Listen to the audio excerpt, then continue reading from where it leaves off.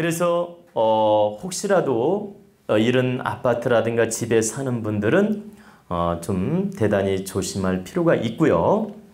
어, 그리고 부득이 그런 집에 살아야 될 경우에 우리가 마음가짐이 굉장히 중요합니다. 내가 부득이 이 집에 인연이 닿아서 이곳에서 살지만 지금 당장 이사를 할 수 없다면 아, 방법들이 있습니다. 아, 내가 아, 우선은 이 집에 살지만 앞으로는 3년이고 5년 안에는 좋은 집에 이사를 가서 잘 살겠다. 근데 우선은 부득이 이 집에서 당분간 살아야 되기 때문에 에, 이 집에 살더라도 이 파장을 받지 않도록 그 에너지를 충족시키는 방법이 있다는 얘기입니다. 제가 이제 이 방법을 가르쳐 드릴 겁니다. 이제 이 방법은 어, 첫째는 내가 아침마다 아침마다 일어나서 그 베란다 창문을 열고 어, 새벽 그 좋은 기운이 집에 들어오게 만드는 겁니다. 새벽 좋은 기운이 그리고선 창문을 열고 잠깐 3분 정도 기도를 하는 거죠. 이 집안에 좋은 기운을 돌려주시고 우리 가족들이 모두 다 건강 안전하고 화합된 마음 화합된 기운으로 바르게 인생을 열어갈 수 있도록 앞길을 열어주십시오. 응? 이렇게 간단하게라도 정성을 다해서 축원을 하고 그리고 베란다를 열어서 그 찬 공기든 따뜻한 공기든 그 공기가 들어와서 정화가 되게끔 만들어주는 겁니다. 그러면 매일 하루에 한 번씩은 좋은 공기가 들어오게끔 정화를 시켜주는 겁니다. 그리고 예를 들어 안방문 같은 경우에도 이렇게 좀 베란다를 살짝 열어서 밖에 공기가 들어오게 만들어주고 그러면 매일 할 수 없다면 한 3일에 한 번씩은 꼭 이렇게 기운을 바꿔줘야 됩니다.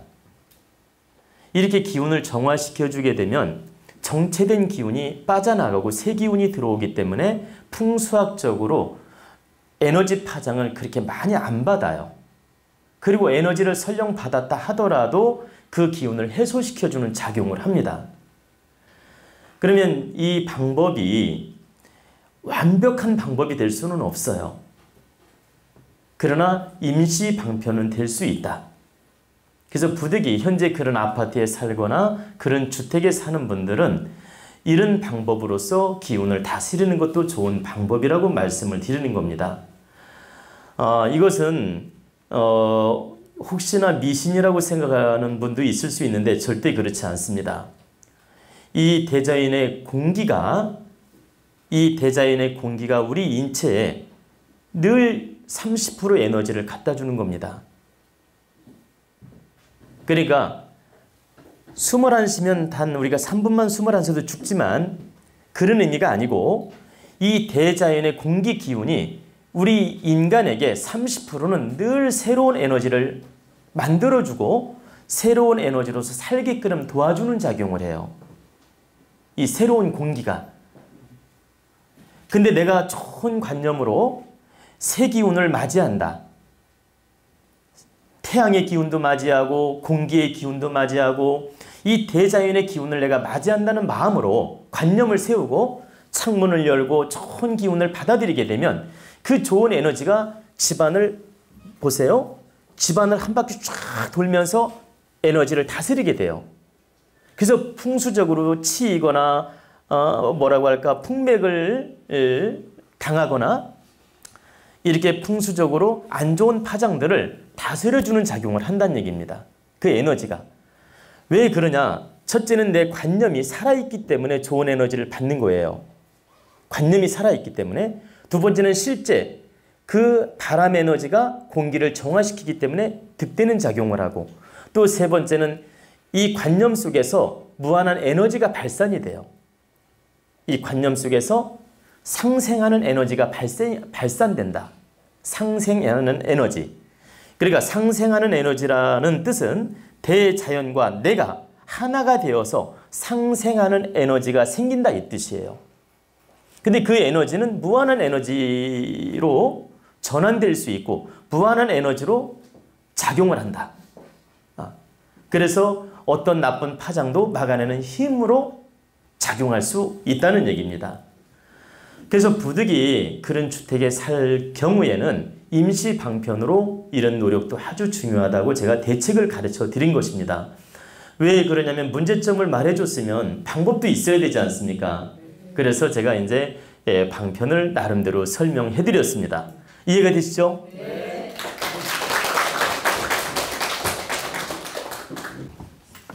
예, 선생님의 지금 좋은 말씀을 들어서 어, 깨달음을 많이 받았고요. 그리고 지금 말씀 주신 것 중에서 제가 궁금한 게 있어서 덧붙여서 질문이 있어서 지금 이렇게 마이크를 잡고 질문을 드립니다.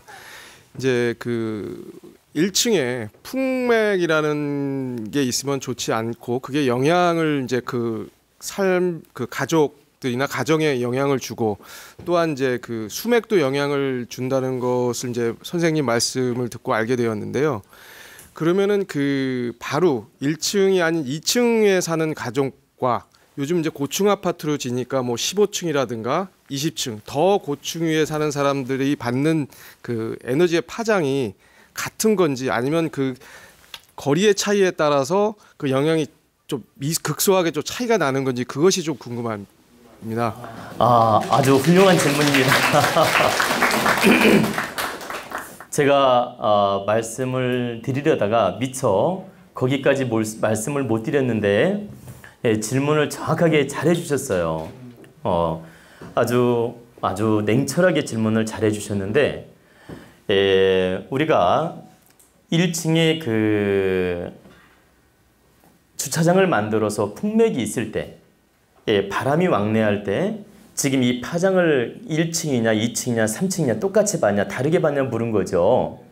어, 분명히 다릅니다. 풍맥의 영향을 가장 많이 받는 것은 바로 위층이 제일 많이 받습니다. 예를 들어서 1층에 주차장을 만들었을 때 2층에 사는 사람이 제일 파장이 크고 그 다음 그 3층, 4층, 5층 높이 올라갈수록 파장이 작습니다. 어. 그리고 또 하나 말이 나온 김에 좀 더 추가로 말씀드리면 이 1층 주차장을 만들었어도 어,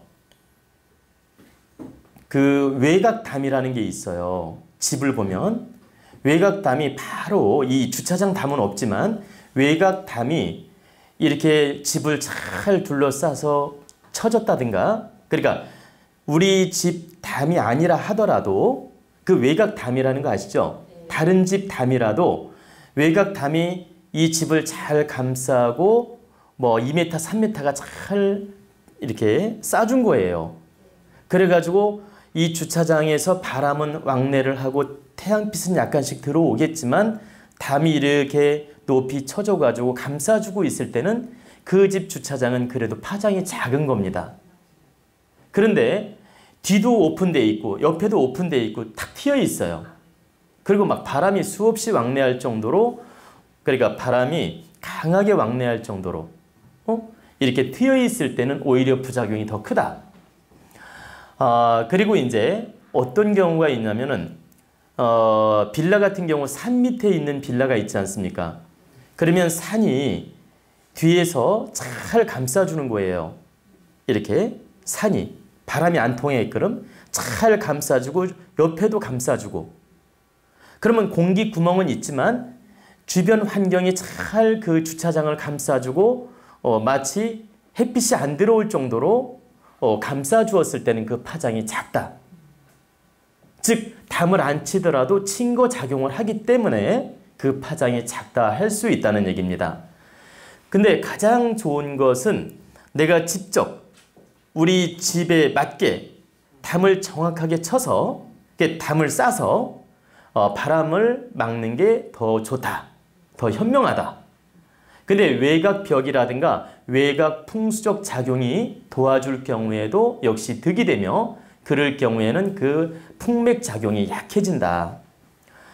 그래서 만약에 부득이 다세대 주택 1층 주차장 집에 살 경우 그러니까 1층 주차장이 있는 집에 살 경우 어, 바로 위층에 사는 것보다는 이제 3층, 4층, 5층 높은 층으로 가서 사는 게 더 유리하다. 아, 이 파장은 올라갈수록 약해진다. 바로 밑에서 막내할수록 강하고 그래서 어 제가 이제 많은 상담을 하면서 느꼈는데 정말 그 집이 풍수적으로 안 좋은 집에 사는 분들이 이 건강이 나쁜 경우가 많고요. 또 운세도 약해지는 경우가 있습니다. 어, 그래서 우리가 어, 풍수적인 영향도 받고 살고 있기 때문에 이, 주, 이 주택도 매우 중요한 작용을 합니다. 즉 다시 말씀드리면 우리가 사주팔자의 운세도 일차적으로 중요하지만 이 환경 에너지, 풍수 에너지, 주택 에너지 이것도 약 30%까지 작용하는 경우가 있습니다. 그러면 이것은 최고 30%까지 작용한다는 뜻이에요. 때로는 10%, 때로는 20%, 때로는 30%까지 작용한다는 얘기입니다. 이제 그 환경에 따라서 왜 그러냐? 우리는 잘 보세요. 식생활을 하고 직장에 나가서 일도 하고 집에 돌아오면은 잠을 자죠. 근데 집에 돌아와서 잠을 잘 때 우리는 새로운 에너지를 얻는 겁니다. 근데 집이 불안정하면 이 새로운 에너지 파장을 제대로 못 받아요. 좋은 기운을. 자기는 잠을 잤는데도 에너지를 편안한 에너지, 좋은 기운을 충분히 못 받는다는 얘기입니다. 낮에 충분히 일을 하고 집에 돌아와서 쉴 때는 집터가 좋아야만이 좋은 에너지를 받아가지고 잠자면서 받고 집에서 쉬면서 받고 좋은 에너지를 받아가지고 밖에 나가서 쓰는 겁니다. 근데 맨날 받는 에너지가 탁한 에너지고 불안정한 에너지고 이렇게 쉰다 해도 쉬는 것 같지도 않고 불안정한 에너지를 받게 되면 내가 쓰는 힘이 그만큼 약해질 거 아닙니까? 하나만 예를 들면 그 충전을 충분히 해서 나가서 쓰게 되면 우리가 여유가 있죠. 우리가 휴대폰 배터리도 있죠. 잘 보세요. 100% 충전돼서 가지고 나갈 때 하루 종일 든든해요, 마음이. 근데 한 30% 충전해 가지고 나가서 씁니다, 이제. 그럼 마음이 불안해요, 안 불안해요? 어, 정확하게 이해가 되죠? 그것처럼 내가 집에서 충분한 에너지를 충전한 다음에 나가서 쓰게 되면 나가서 밖에 나가서 일도 잘 되고 마음도 편안하고 기운이 좋게 작용하는데 어중간하게 충전해가지고 나가니까 허걱대는 거예요. 허걱된다. 어, 그러니까 기운이 부족하다 보니까 딸린다. 그래가지고 하는 일이 잘 안 풀리고 되다가 말고 사람들 만날 때도 짜증이 나고 그리고 내 기운이 약하다 보니까 상대 기운에 치이게 되고 내 말이 먹히지도 않게 되고 상대 감정에 내가 끌려가게 되고 어? 내가 갑이 아니라 늘 을이 된다는 얘기입니다. 내 운이 약해지니까. 그래서 잠자는 주택, 잠자는 그 주택 풍수가 좋아야 밤에 좋은 기운을 받아서 밖에 나가서 잘 쓰기 때문에 운명에도 직결작용을 한다는 얘기입니다. 어, 그래서 한 하나만 더 말씀드리면 그래서 한 집이라도 보세요. 방이 세 개면 방마다 에너지가 또 달라. 거실 다르고 안방 다르고 애들 방 다르고 에너지가 다 달라요. 한 집이라도.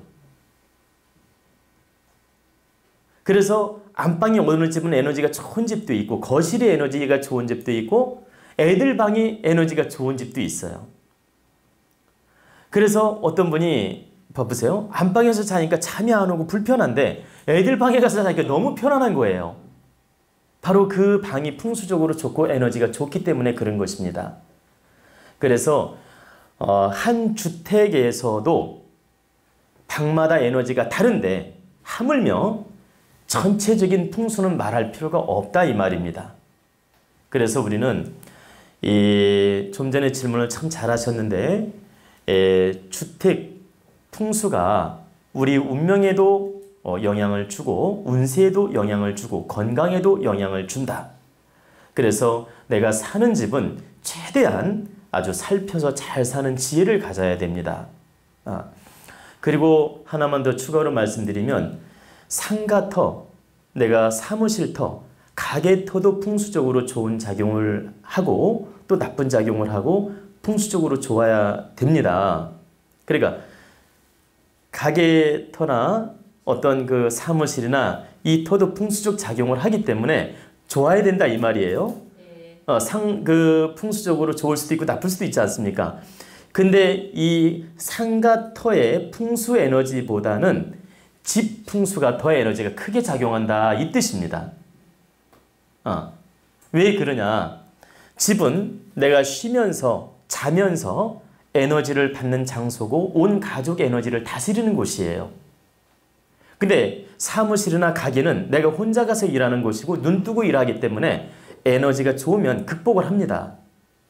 다시 말씀드려서 풍수 에너지가 조금 부족해도 내가 살아서 움직이고 기동을 하기 때문에 예, 활동을 하기 때문에 잠자는 게 아니고 내가 살아서 움직인다 이 말입니다. 이렇게 기동을 하기 때문에 에, 극복하는 힘이 좋아요. 근데 집은 가만히 쉬고 잠자기 때문에 고요한 기운이기 때문에 터가 좋아야만이 좋은 기운을 받는다. 그래서 제가 어, 말씀드리고자 하는 핵심은 주택 풍수가 1차적으로 더 중요하고 2차적으로 상가라든가 사무실이라든가 이 풍수도 중요하다 이 뜻입니다. 아, 근데 1차적으로는 우리가 주택 풍수를 잘 선택해서 사는 게 더 현명하다 이 뜻입니다.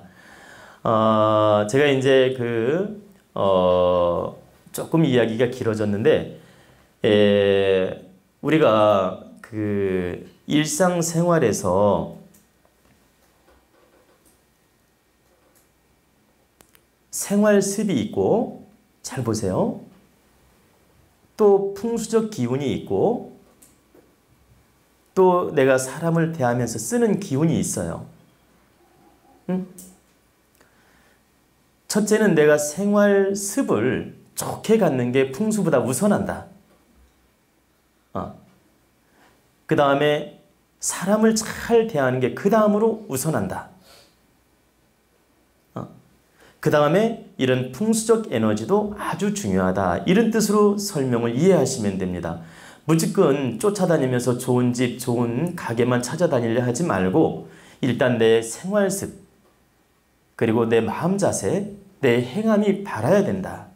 아, 그리고 내 마음가짐이 항상 바르게 노력을 할 때 이 에너지도 나를 돕게 되고 득되게 작용하는 것이지 내 행동이나 에너지는 내 마음 에너지를 말하는 겁니다.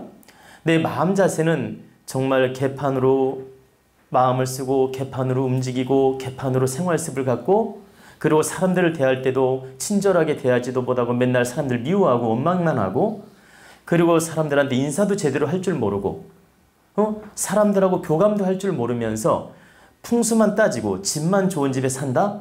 의미가 없다는 얘기입니다. 그래서 1차적으로 내가 생활습이 무엇이 부족한가 살필 줄 알아야 되고 또 내가 사람을 대하면서 얼마만큼 사람을 득되게 잘 대하는지 소통을 잘하는지 교감을 잘하는지 얼마만큼 융통성 있고 유연성 있게 사람을 대하는지 예? 저 사람을 내가 득되는 마음으로 대하고 있는지 이런 걸 먼저 살펴야 된다. 어? 그 다음에 우리가 주택이라든가 상가라든가 이런 풍수적인 것도 관심을 갖고 노력을 해야지 오직 풍수에만 매달려서는 안 된다 이 뜻입니다. 아시겠죠? 네.